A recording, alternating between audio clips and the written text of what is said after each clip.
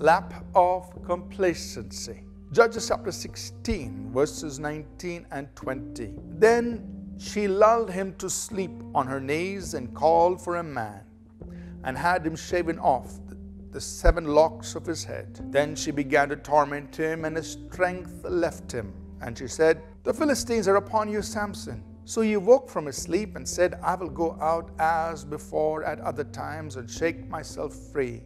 But he did not know that the Lord had departed from him. The lap of Delilah. Samson found himself that morning lying in that lap as he often would have in the past.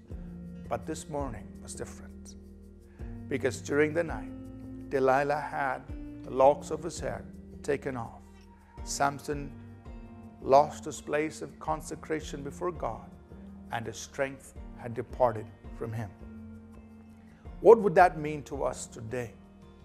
The lap of Delilah, I would suggest, was a place of compromise, but it was also a place of complacency. A place where Samson said, You know, nothing bad is really going to happen to me. Even though he had actually revealed his secret to Delilah. And yet to go back into that same place thinking nothing was going to happen to him. If anything, Samson would have had to run from that place after he had given out his secrets. So, man, I've given my secret. I am in a very vulnerable place because if she does cut my hair, that's the end of it. But he was so complacent. He was willing to go back and lie in the lap of this woman who knew the secret that could destroy his life complacency. What about us believers today? You know, many times the enemy gains access into our lives because we are complacent. In Hebrews chapter 2, verse 1, the writer of Hebrews says, Therefore we must give the more earnest heed to the things we have heard, lest we let them slip. That means, you know, we've heard these things before. We know these truths. We've probably heard a hundred sermons on that. We've probably read a lot of books on it. We've probably read, gone through all the scripture passages on it. And so, what is our tendency?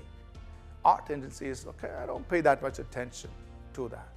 But you know, the writer of Hebrews says, we need to give the more earnest heed, give double attention to the things that we have heard, those foundational truths, those basic things that we've been taught. Pay double attention to it, lest we let them slip. Uh, the picture there in the Greek is like a pot with holes little by little, it leaks. Eventually, the pot gets empty.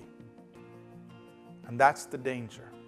Familiarity with truth leads to complacency. And it leads to this place where we let it slowly slide out of our grip, where once the very truth that raised us up to a place of strength is no longer in our hands for us to use because we've let it slip. So beware, guard against complacency give the more earnest heed to the truths we've heard, lest we let them slip. Be careful of the lap of complacency. It leads to a slow fall into weakness, just like we see in the life of Samson. Let's pray. Father, we ask that you'll help us pay the more earnest attention, God, to the things we have heard and we've been taught, lest we let them slip out of our hands. Help us to guard against complacency. In Jesus' name, amen. Thank you for tuning in to Living Supernaturally. For more resources to strengthen your spiritual walk, please visit apcwo.org.